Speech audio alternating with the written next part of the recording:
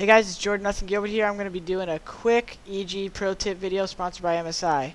This video, I'm going to be showing you guys how to configure settings at home and at LAN, anywhere, and this is just going to basically run through from desktop to in-game my mouse and video settings.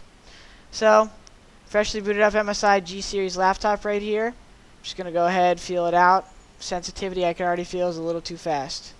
I'm going to go in the start menu. I'm going to go to the normally control panel to get to the mouse options. Pull up the mouse. See I got the pointer options here. It's at about five notches right now. I'm going to bring this down to three.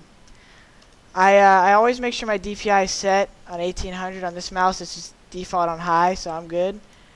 After that, check if there's any mouse drivers. A lot of times when you're at LAN and whatnot, people just installing everything, so you just really got to check for all this stuff to make sure that everything's proper. Mouse, let's see. Add remove programs. Here we go. Alright. Nothing's in here. Got basic stuff, no other drivers. That's clear. Good to go. Next thing I check, mouse hertz. This is a relatively new thing. It's uh, I just started using it about last year, so it's a pretty good product. Really improves the precision of your mouse on LCD, especially. So I like to do uh, use that every tournament I can. I'm gonna. There's two different types. I'm gonna show you both. There's one for Windows XP. There's another for uh, every other version, basically. The XP version here, you can look at the screen. It's uh, USB MRS 11. Normally, you just double click on it, hit run. I already had this configured earlier. Hit patch. Comes up. You could patch to 250, 500, or 1000.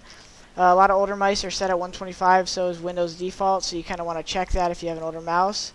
My mouse is default at 500, but I like to bump it up to 1000 because uh, really nice precision. After this, basically uh, good for my mouse on the desktop side so far.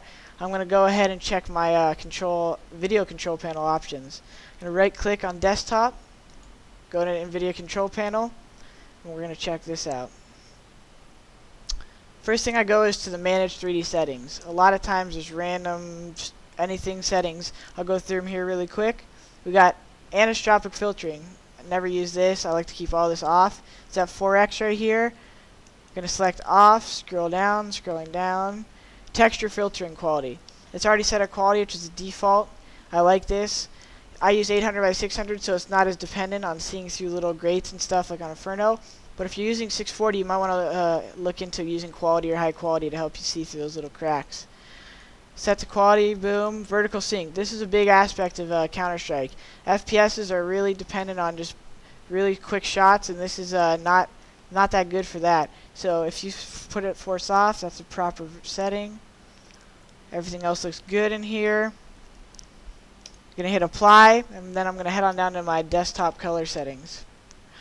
Got my brightness here. Now, one thing I'll say really quick about this is a lot of times people just think, oh, everyone, like, the settings are so dependent. Not all the settings really matter. Everything else is up to you. The only thing you need to make sure that is proper while you're playing in the live match is, one, you don't get blind for too long, and two, you can see all the little dark corners. So I, I like to bump my gamma up a little bit. This control panel in particular, most of the values here started at 50%, so I like to drop them down a little bit. I got contrast at 52 right now. I'll bring that down. That'll help with my smokes and flashes. Got gamma. I'm going to bring that up a little more, help me see in dark corners to about 0.90. And then I got my brightness. It's a little low right now. Default's 50, I think. I'm just going to bring it up to default and set it right there. That should be good. Now, I already got a pretty vibrant bright monitor on this uh, MSI laptop. It's a nice G series, nice 15-inch screen. It's really crisp, so I don't really need to mess with the gamut all that too much. I already have a nice vision.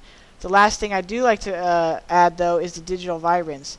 Although it's already nice and clear, this adds really cool color to all the textures around the map, and I really like having this on there. So I think it is a little lower. So yeah, it started at zero. So I'm going to go ahead and bring it up. I bring it up to 70. It's higher than most users. A lot of people do 50 or none or 30.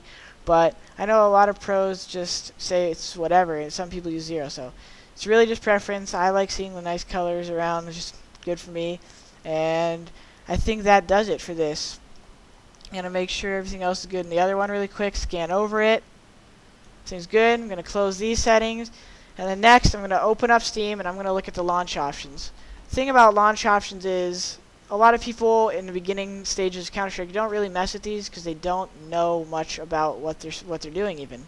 So launch options I think are, are a big step for people to make sure they're always implementing in their own configuration. I'm going to open up my Steam Games window here, take a quick look. Right click on my Counter Strike icon, bring up to the properties. Once I'm there, there's a set launch options button. Clicking that right here, bring it up, there's nothing in here. There's uh, there's three basic commands that are the most popular usage of the launch options. There's no force maccel, no force mparms, and no force MSPD. All these have a little minus sign in the beginning of them, and uh, it's basically all of them are mouse settings. All of them are horizontal, vertical, speed, all that stuff. I don't use MSPD though. That's what I was going to say originally. MSPD is something to do with X and Y axis. It's kind of uncomfortable for me. It adds a little too much accel, so I don't really like to deal with that. After I got those two in, I check uh, frequency, freak, 75 on LCD, 100 on CRT, set that all properly. I'm not quite sure what uh, Counter-Strike is going to boot in right now, so I don't want to set it to anything just to make sure your screen doesn't have any problems. Close this. Everything's set for that. I'm going to go ahead and open up Counter-Strike. Looks nice, 800 by 600, got a nice vision. This monitor handles most resolutions really well for Counter-Strike. That's why I really enjoy playing on this. Brightness, resolution is already set. I use 800 by 600. It's a nice default resolution. It's like old school Counter-Strike, really clean. After that, Gamma, 32-bit. 32 bits always it's the legal uh, legal value. Can't have 16-bit and doesn't don't really need it. Gamma, make sure that's full. In my opinion, like having it always full in game. Brightness a little less, about second notch, and uh, right below the end. And then once you hit apply, it's gonna close and come back Counter Strike. Then it's set.